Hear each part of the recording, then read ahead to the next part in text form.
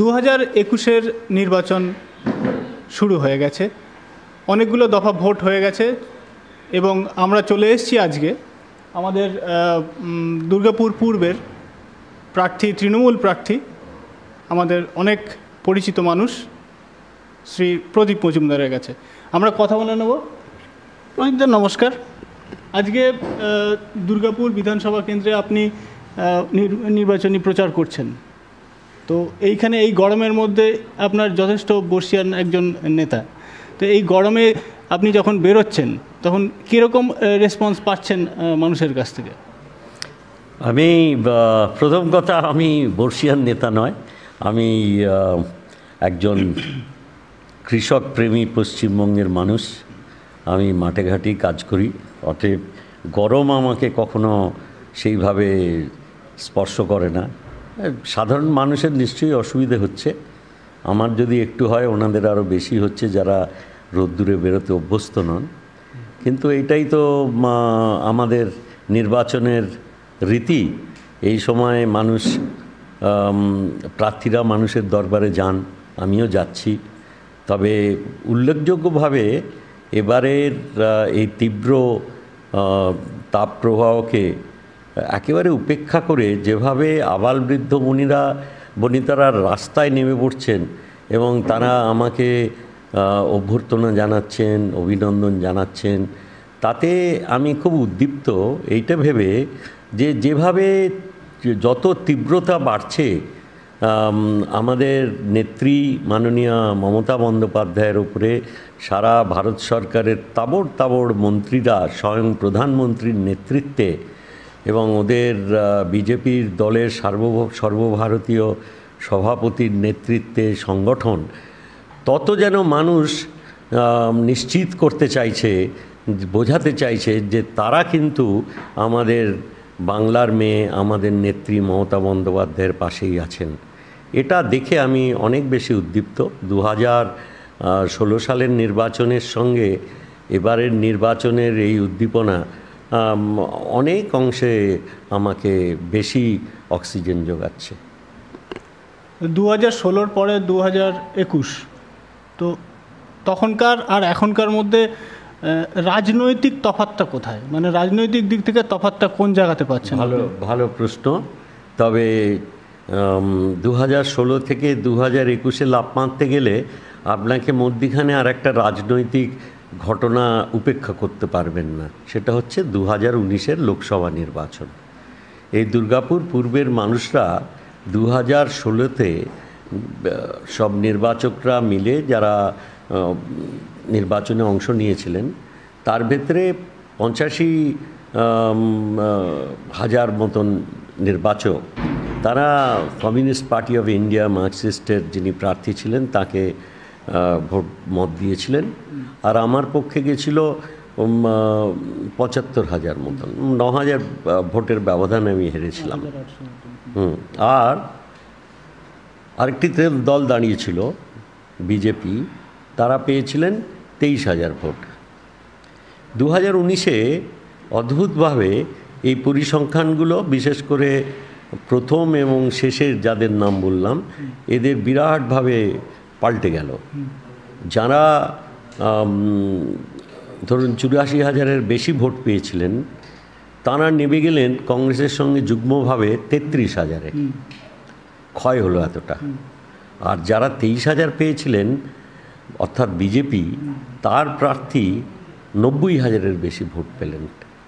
অতএব কিনা যিনি লোকসভার প্রার্থী হয়ে এখান থেকে এত জনসমর্থন পেলেন তিনি মোট সংখ্যার অল্প ব্যবধানে লোকসভায় ঢোকার সুযোগ পেলেন।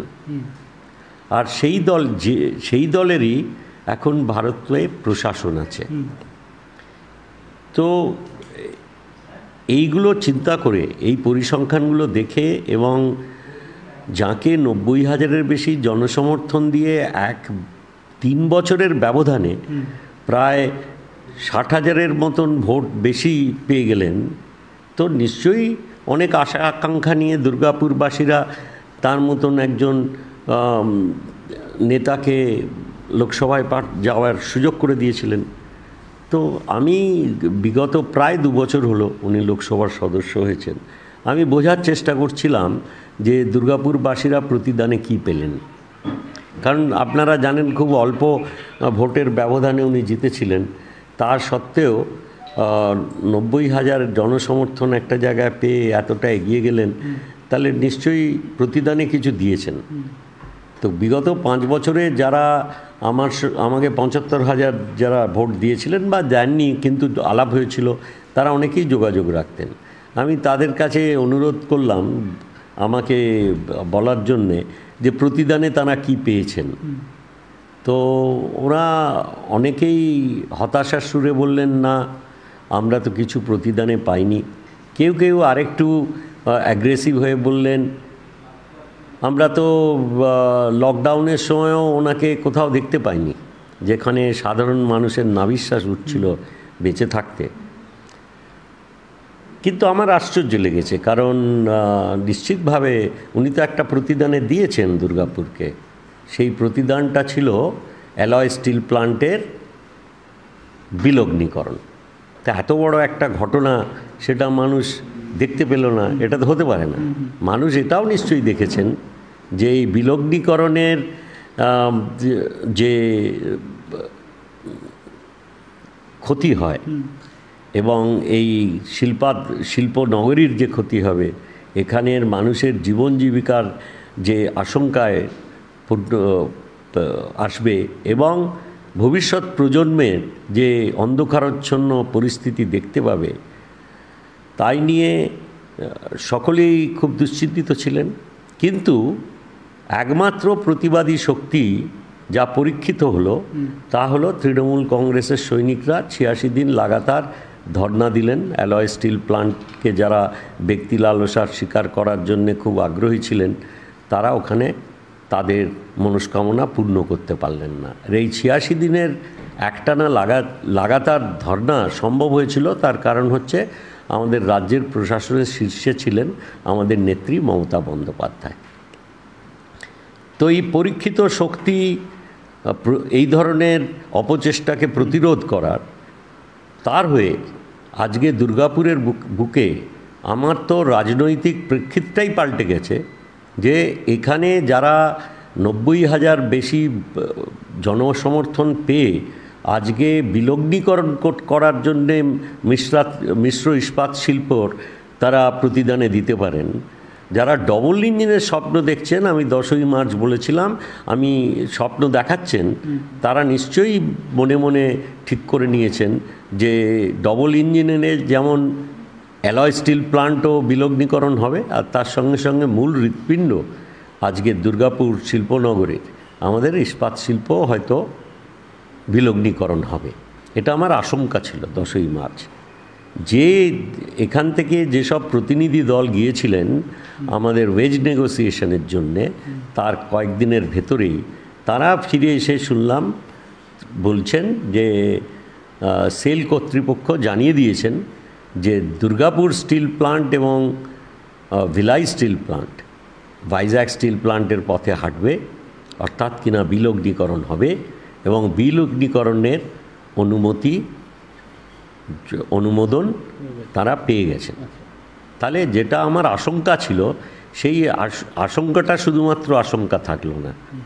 তো এখন দেখুন দুর্গাপুরে আমরা সকলেই জানি যেটা আমাদের জেনারেলি আমরা নির্বাচনের প্রাককালে সকলকে স্মরণ করিয়ে দিচ্ছি যে আমাদের মাননীয় মুখ্যমন্ত্রী বিগত দশ বছর ধরে কি কি উন্নয়ন করেছেন, কি কি প্রতিশ্রুতি দিয়েছিলেন তার ইস্তাহারের মাধ্যমে এবং সেই প্রতিশ্রুতিগুলো কীভাবে তিনি রক্ষা করেছেন। যারা বছরভর দেখেন যে একমাত্র ব্যতিক্রমী মুখ্যমন্ত্রী যিনি জেলায় জেলায় সফর করে, উনি প্রশাসনিক পর্যালোচনা করেন। সেখানে ব্লক স্তরের আধিকারিকদের অবধি উনি প্রশ্ন করেন বিভিন্ন প্রকল্পের কতটা অগ্রগতি হয়েছে। তো এইভাবে উনি একশো শতাংশ উপ- উপকার যাদের জন্য যে প্রকল্পটা হচ্ছে তারা যাতে পান সেটা সুনিশ্চিত করেন। তো আমরা সেটা স্মরণ করাচ্ছি। তার সঙ্গে সঙ্গে আপনারা জানেন এবারের নির্বাচনের ইস্তেহারে উনি দশটি মূল অঙ্গীকার করেছেন। সেগুলো সম্বন্ধে বলছি, আমার সহকর্মীরা সব জায়গায় বলছেন। কিন্তু রাজনৈতিক প্রেক্ষিত, বিশেষ করে দুর্গাপুরের ক্ষেত্রে হচ্ছে এই বিল, বিলগ্নীকরণের বিরোধিতা। কারণ যখনই ব্যক্তি মালিকানার কাছে চলে যাবে এই সব রাষ্ট্রীয় বৃহৎ শিল্প, তখন কিন্তু সামাজিক দায়বদ্ধতা তাদের কমে যাবে। সামাজিক দায়বদ্ধতা করলে যে স্বপ্ন নিয়ে দুর্গাপুর স্টিল প্লান্ট গড়ে উঠেছিল, তার সঙ্গে সঙ্গে সমসাময়িকভাবে, সমান্তরালভাবে দুর্গাপুর ইস্পাত নগরী গড়ে উঠেছিল। সেই স্বপ্নগুলো ভেঙে চুরমার হয়ে যাবে। এবং ব্যক্তিবিশেষ তার লক্ষ্য থাকবে খালি লাভ বাড়ানো। তার কখনোই লক্ষ্য থাকবে না সামাজিক দায়বদ্ধতা। আজকে ধরুন, চল্লিশ হাজারের কর্মচারীর থেকে কমতে কমতে সাড়ে সাত হাজার বা তারও কমে চলে গেছে। আর বিলগ্নীকরণ হবে বলে এরা অনেক সামাজিক দায়বদ্ধতার থেকে ওরা অস্বীকার করছেন বা দূরে সরে যাচ্ছেন। এগুলো সবই ছিল প্রস্তুতি এবং তার সঙ্গে সঙ্গে সারা দেশে যে শ্রমিক স্বার্থে যেসব আইন প্রণয়ন হয়েছিল আগে সেগুলোকে ক্রমশ শিথিল করে দেওয়া হচ্ছে মালিকের পক্ষে। এখানেও লেবার কোড বলে কতকগুলি সংশোধন ওনারা আনবার প্রস্তাব রয়েছে। নির্বাচনের জন্য শুনছি যেরকমভাবে এখন বলেছেন ভুল করে ওই আপনার সুদের হার কমানোর সিদ্ধান্ত ঘোষণা হয়ে গেছিল একটা অর্থ দপ্তর থেকে। সেটা কয়েকদিনের জন্য স্থগিত রাখা হলো, সেটা বলছেন যে উইথড্র করা হলো। নিশ্চিত মিলিয়ে নেবেন। যেরকম আমাদের মুখ্যমন্ত্রীর অঙ্গীকার মানুষ মিলিয়ে নিয়ে দেখতে পারে যে উনি কতটা দ্রুততার সঙ্গে এগুলো রূপায়িত করেন। ঠিক সেইভাবেই দেখে নেবেন। নির্বাচন শেষ হওয়ার পরে এই সুদের হার কদিনের অপেক্ষায় আবার কমানো ঘোষণা করা হবে। এগুলো মানুষ চোখে দেখতে পায়। তো তার সঙ্গে সঙ্গে আমাদের এই বিলগ্নীকরণের বিরুদ্ধে জেহাদ এবং মানুষকে স্মরণ করিয়ে দিচ্ছি যে একমাত্র পরীক্ষিত শক্তি যারা রোধ করতে পারেন সেটা হচ্ছে তৃণমূল কংগ্রেসের এবং তৃণমূল কংগ্রেসের নেত্রী, তার প্রশাসনের শীর্ষে থাকলে আমরা এই ধরনের প্রতিরোধ গড়ে তুলতে পারব। অতএব দুর্গাপুরকে বাঁচানোর জন্যে দুর্গাপুর স্টিল প্লান্ট এবং দুর্গাপুর অ্যালয় স্টিল প্লান্টকে রক্ষা করতে হবে বিলগ্নীকরণের হাত থেকে। তার জন্যে পরীক্ষিত শক্তি তৃণমূল কংগ্রেসের সুপ্রিমোকে আনতে হবে মুখ্যমন্ত্রী করে এবং সেটা করতে গেলে ওনাকে যথেষ্ট সংখ্যাগরিষ্ঠতা দিয়ে বিধানসভায় ওনার সদস্যদের জিতিয়ে পাঠাতে হবে। অতএব আমি দিকে দিকে তৃণমূল কংগ্রেসের প্রার্থী, প্রার্থীদের জয়যুক্ত করার অনুরোধ করছি। যার যেখানে আত্মীয় পরিজন, বন্ধুবান্ধব আছেন, তাদের মাধ্যমে ওনারা যদি দয়া করে তাদের বলেন, তাহলে নিশ্চিতভাবে মাননীয় মুখ্যমন্ত্রী আবার তৃতীয়বার ফিরে আসবেন। আর দুর্গাপুরের মানুষ যদি আমাকে উপযুক্ত মনে করেন তাদের প্রতিনিধিত্ব করার, নিশ্চিতভাবে আমি আশা করব যে তারা গরিষ্ঠ সমর্থ, জনসমর্থন দিয়ে আমাকে তাদের প্রতিনিধিত্ব করার সুযোগ দেবেন। দু হাজার ষোলো দু হাজার একুশ বিধানসভা ভোট, মাঝখানে ছিল লোকসভা ভোট, আপনি যেটা বললেন। তো এর মধ্যিখানে দু হাজার একুশে এখন যারা, এখন আপনারা যেটা ভাবছেন যেটা হচ্ছে প্রধান প্রতিপক্ষ বিজেপি, তো তার থেকে দু হাজার একুশে এক ভোট পেয়েছিল দু হাজার উনিশে লোকসভাতে আরেক ভোট পেল, এবং এখন দু হাজার একুশে এসে দেখা যাচ্ছে যে অনেক ক্ষেত্রেই তৃণমূল কংগ্রেস থেকে অনেকে চলে গেছে। ম্যাক্সিমাম ক্ষেত্রে তৃণমূল কংগ্রেস থেকে চলে যাচ্ছে বিজেপিতে। তো সেরকম জায়গাতে দাঁড়িয়ে এখন পরিস্থিতিটা এমন একটা জায়গায় এসে দাঁড়িয়েছে যে এখন আপনারা লড়ছেন কাদের সঙ্গে? আপনাদের নিজেদের যারা ছিল কর্মী, একসময় সহকর্মী ছিল, সহযোদ্ধা ছিল, তাদের সঙ্গেই লড়াইটা তো হচ্ছে। একটা বলি আপনাকে, আমরা তৃণমূল কংগ্রেসের ব্যক্তিবিশেষের সঙ্গে লড়াই করি না। আমাদের মাননীয় মুখ্যমন্ত্রী মানুষের ভালো করার জন্য চেষ্টা করেন। অনেকগুলো প্রকল্প আছে, তার মাধ্যমে মানুষের জীবন স্পর্শ করার চেষ্টা করেন। আমরা ইস্যু ভিত্তিক লড়াই করি। আমাদের ইস্যুর সামনে হচ্ছে এই উন্নয়নের ধারা বজায় থাক, পশ্চিমবঙ্গের গরিব মানুষরা দ্রুততার সঙ্গে তাদের অগ্রগতি হোক, পশ্চিমবঙ্গ এগিয়ে যাক এবং পশ্চিমবঙ্গকে যারা ধ্বংস করার চেষ্টা করছে সেটা ধরুন এই অর্থনৈতিক মন্দিরগুলোকে ধ্বংস করার যে প্রচেষ্টা, কারণ এগুলো তো দেখুন, এগুলো খালি শিল্প নয়। আপনি যদি পণ্ডিত নেহেরু, ডক্টর বিধানচন্দ্র রায় যেসব স্বপ্ন দেখিয়েছিলেন, নিজেরা দেখেছিলেন, সেটা সাধারণ মানুষকে স্পর্শ করেছিল, তারা আবেগপূর্ণভাবে অনেকে জমি দিয়েছেন, অনেকে স্বপ্ন দেখেছেন, যেখানে পশ্চিমবঙ্গের ভবিষ্যৎ প্রজন্ম তারা এইসব শিল্পর এবং তার অনুসারী শিল্পের বিকাশের সঙ্গে সঙ্গে তাদের ভবিষ্যৎ উজ্জ্বল হবে। এইসব আশা আকাঙ্ক্ষা নিয়ে তো এগুলো গড়ে ওঠে। এগুলোই হচ্ছে অর্থনৈতিক মন্দির। যারা মন্দির মসজিদ নিয়ে খালি রাজনীতি করেন, তারা তো আজকে আমাদের অর্থনৈতিক মন্দিরগুলোকে ধ্বংস করছেন। করে নিয়ে চাঁদা তুলে তার ভেতরে কতটা কি করছেন আমি জানি না। ওনারা রাম মন্দির করার নাম করে অনেক কিছু করছেন। কিন্তু যেগুলো এস্টাবলিশড সাধারণ মানুষের জীবন জীবিকা শুধু দেয় তাই নয়, এদের স্বপ্নের আধার এগুলো, সেইগুলোকে ধ্বংস করছে। আমরা সেগুলোর বিরোধিতা করব। আমরা সেগুলোকে বাঁচাতে চাই। আমরা পশ্চিমবঙ্গকে এগিয়ে নিয়ে যেতে চাই। কে কোথায় কবে চলে গেল, তার ব্যক্তি স্বার্থে ঘা লাগল কি লাগল না, কি জিভ দিয়ে টপ টপ করে জল পড়ছে আরও কিছু ললিপপ পাবেন বলে, তাদের নিয়ে আলোচনা করে সময় নষ্ট করার মতো সময়, ইচ্ছে বা মানসিকতা কোনোটাই আমাদের নেই। আমি যে ইস্যুগুলোর কথা বললাম, আমরা সেই ইস্যুর জন্য লড়াই করছি। এখানে কোন ব্যক্তি কোথায় গেল, কে কি রং পড়ল কে কবে আমার নেত্রীর পায়ে পড়েছিল, আজকে তাকে তার কুৎসা গাইছেন, এগুলো জেনে কোনো লাভ আছে? এগুলোতে আমি বিশ্বাস করি না এবং আমার ধারণা, আমার দলের যারা সতীর্থ আজকে যুদ্ধে নেমেছেন, তারা সকলেই ইস্যুভিত্তিক লড়াই করছেন, রাজ্যের স্বার্থে। ওই কে কোথায় চলে গিয়ে কার পা চাটছে আজকে এগুলো নিয়ে বক্তব্য রাখাটাই খুব আমাদের নিজেদের হীনমনতার পরিচয় মনে হয়। আপনি মানে ইয়ে ছিলেন, আপনি যোগাযোগ আছে আপনার এবং আপনি আপনার এগ্রিকালচার এগ্রিকালচারের সঙ্গে মানে কৃষির সঙ্গে আপনি যুক্ত আছেন অনেকটাভাবেই। তো সেই ক্ষেত্রে দাঁড়িয়ে তো আমাদের এইখানে কৃষি প্রধান আমাদের এই, আপনার অংশটাও নয়, রাজ্য আমাদের রাজ্যতে এই জায়গাটাকু নয়। তো সেইখানে দাঁড়িয়ে এই আমাদেরকে একসময় দুর্গাপুরকে বলা হতো রুর অফ ইন্ডিয়া। একসময় বলা হতো রুট অফ ইন্ডিয়া। তো সেইখানে দাঁড়িয়ে আমরা দুর্গাপুরবাসী আপনি বিধায়ক হয়ে এলে আমরা দুর্গাপুরবাসী আপনার অংশে কি কি পাবো? ম্যানিফেস্টো তো মমতা ব্যানার্জি বল দিয়েইছেন। তো সে তারপরে আমরা কি পাবো? কি কি? যেমন আমাদের এখানে আছে প্রবলেম আছে স্কুলের প্রবলেম আছে আপনাদের এখানে হেলথের অনেক প্রবলেম আছে। তো এইগুলোর থেকে আমরা কি পাবো? দেখুন প্রথম প্রবলেম তো আপনাকে বললাম হেলথ আর স্কুলের প্রবলেম বেশি দিন থাকবে না যদি এগুলো বিলগ্নীকরণ হয়ে যায়। সেটা রক্ষা করতে হবে। এটা number one agenda number one agenda number two এজেন্ডায় যাওয়ার আগে আপনাদের স্মরণ করিয়ে দিই। আমি বিগত দশ বছর ধরে এখানে গ্রামীণ অর্থনৈতিক নীতিকে চাঙ্গা করার জন্য মাননীয় মুখ্যমন্ত্রী বিভিন্ন দপ্তরের সঙ্গে সমন্বয় রেখে আমাদের গ্রামীণ অর্থনীতিকে আরও সুদৃঢ় করার জন্যে আমাকে দায়িত্ব দিয়েছেন। আমি সেই নিয়েই কাজ করছি। সেই জন্যে গ্রামীণ ক্ষেত্রে বা আমার এই মাননীয় মুখ্যমন্ত্রীর সব স্বপ্নগুলোকে রূপায়িত করার যে প্রচেষ্টা তার জন্যই লোকে আমাকে কৃষিক্ষেত্রে বেশি দেখেন। কিন্তু আমার ব্যক্তিগত অভিজ্ঞতা ছত্রিশ বছরের হচ্ছে ম্যানুফ্যাকচারিং শিল্পে কাজ করা এবং শিল্প পরিচালনা করা। সেটার অভিজ্ঞতা অনেক বেশি। এটা হচ্ছে দশ বছরের।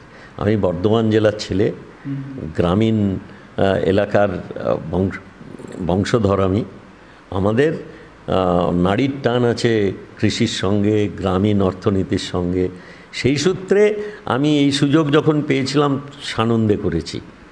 এবং আমি যখন শিল্পে ছিলাম খুব দক্ষতার সঙ্গেই মানুষ বলে, আমি কাজ করেছি। আমি বিভিন্ন আন্তর্জাতিক অর্গানাইজেশনে পরিচালক মণ্ডলীতে ছিলাম।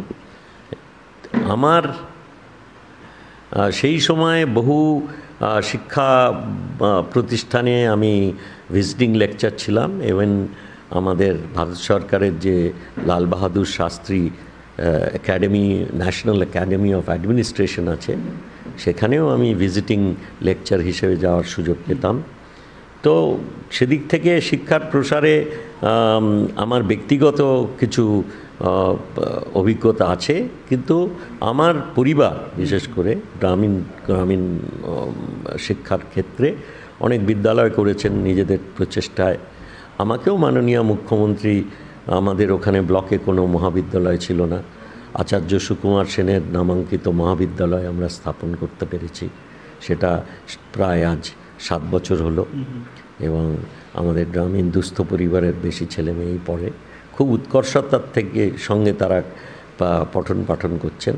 অতএব আমার একটা সম্যক ধারণা আছে যে কীভাবে হয়। আর এখানে তো সব বিত্তশালী লোকেদের পড়াশুনোর জন্যই বেশি আগ্রহ তো আহ, এখানে যদি শিক্ষাক্ষেত্রে সমস্যা থাকে সেগুলো নিশ্চয়ই আমি সুযোগ পেলে দেখব যে কীভাবে তার সমাধান করে কীভাবে এগোনো যায়। সরকারি সহায়তা যতটুকু হওয়া সম্ভব সেটা নিশ্চয়ই আমি যদি প্রতিনিধিত্ব করার দায়িত্ব পাই আমি সচেষ্ট হব।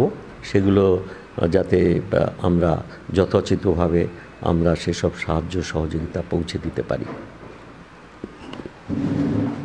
এক- দফা এই ভোটের সময় এই উত্তরবঙ্গ কুচবিহারে শীতলকুচিতে ঘটে গেল মর্মান্তিক একটা দুর্ঘটনা বলব, ঘটনা বলব, যাই বলি।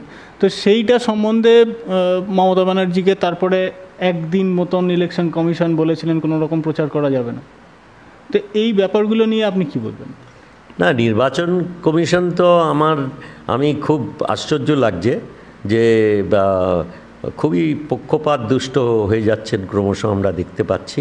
তার কারণ হচ্ছে দেখুন আমাদের যে বিধি ছিল নির্বাচনে যে ব্যবস্থা তাতে প্রত্যেক প্রার্থী তার প্রতিনিধিত্ব করার জন্যে নির্বাচন ক্ষেত্রে যেখানে পোলিং স্টেশন হয় সেখানে প্রত্যেকটি বুথে একজন করে প্রতিনিধিত্ব করার জন্য পোলিং এজেন্ট দিতে পারেন। তার মূল উদ্দেশ্য হচ্ছে যে কিছু বিধি নিষেধের উপরে লক্ষ্য রাখা। আর যারা নির্বাচক, তাদের সঙ্গে তিনি পরিচিত থাকবেন, যেটা প্রিসাইডিং বা পোলিং অফিসারদের পক্ষে সম্ভব নয়। তারা বিভিন্ন জায়গা থেকে আসেন এবং তার যদি অচেনা একজন লোক এসে বলতে চায় যে, তার গ্রামের বা তার পাড়ার, তাহলে তিনি তার পরিচয় সম্বন্ধে সন্দেহ প্রকাশ করবেন অতএব সেই প্রতিনিধিত্ব করার দায়িত্ব এমন লোককেই দেওয়া হতো যিনি ওই বুথেরই একজন ভোটার বা সেই ভোটারের ফ্যামিলির ছেলে বা মেয়ে, আর খুব বেশি হলে পাশের থেকে। তো এবারে যেহেতু এনাদের শুনলাম যে বিজেপি দলের তারা বেশিরভাগ জায়গায় এই ধরনের বুথে ওদের কোনো চিহ্নিত কর্মী নেই। সেজন্য ওনারা এসব অনেক বুথেই ওনারা কোনো প্রতিনিধিত্ব করার দায়িত্ব দিয়ে পোলিং এজেন্ট দিতে পারবেন না। ওনারা গোপনে চুপি চুপি ইলেকশন কমিশনকে নাকি চিঠি দিয়েছিলেন। ওনাদের একজন কর্মকর্তা সেই চিঠি দেখালেন টেলিভিশনের পর্দায়। তিনি দিয়ে বলেছেন যে এটা তুলে দেওয়া হোক। কেন তুলে দেওয়া হবে? যুক্তি চাওয়া হলো না। অন্য দলের সঙ্গে আলোচনা করা হলো না। সিদ্ধান্ত হয়ে গেল। যে যে কোনো একজন লোক, সে ওই পাড়ার হোক, না হোক, অন্য যে কোনো জায়গার, ওরা বলেছিল ভারতবর্ষের যে কোনো মানুষ হলেই বসিয়ে দেবো।